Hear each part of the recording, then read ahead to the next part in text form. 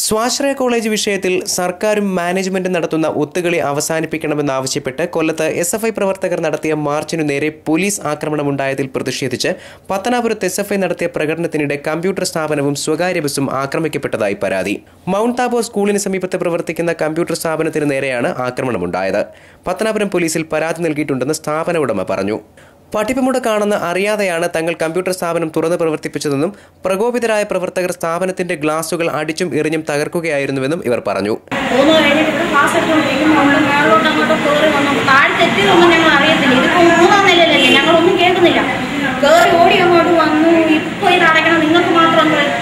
നിങ്ങൾ കോൺഗ്രസ്സുകാരെ സപ്പോർട്ട് ചെയ്യുന്നവരായത് കാരണം തുറന്നു പ്രകടനം ടൗണിലൂടെ പോകുന്ന സമയത്ത് അടൂർ പത്തനാപുരം റൂട്ടിൽ ഓടുകയായിരുന്ന എം കെ കെ എന്ന സ്വകാര്യ ബസ്സിലെ തൊഴിലാളികൾക്ക് നേരെയും ആക്രമണമുണ്ടായതായി ആരോപണമുണ്ട്.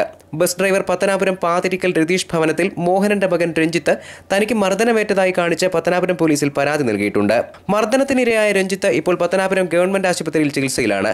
ആക്രമികൾക്കെതിരെ ശക്തമായ നടപടി സ്വീകരിക്കുമെന്ന് സ്ഥലത്തെത്തിയ പുനലൂർ സി ഐ വിജയൻ മാധ്യമപ്രവർത്തകരോട് പറഞ്ഞു. ശക്തമായ നിയമ നടപടികൾ പോലീസ് ചെയ്യുന്നതാണ്.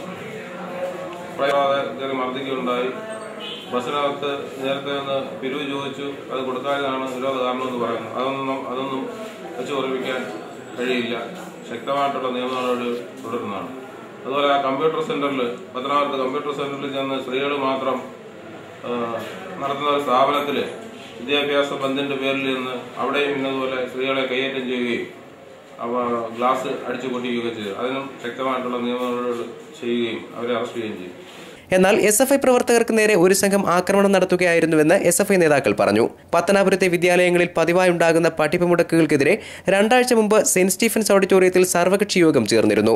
ജില്ലാ സംസ്ഥാന നേതൃത്വങ്ങളുടെ അനുമതിയില്ലാത്ത വിദ്യാർത്ഥി സമരങ്ങൾ അംഗീകരിക്കില്ലെന്ന് സർവകക്ഷി യോഗത്തിൽ തീരുമാനമുണ്ടായെങ്കിലും അതൊന്നും ഫലം കാണില്ലെന്നാണ് സമീപകാല സംഭവങ്ങൾ വ്യക്തമാക്കുന്നത്.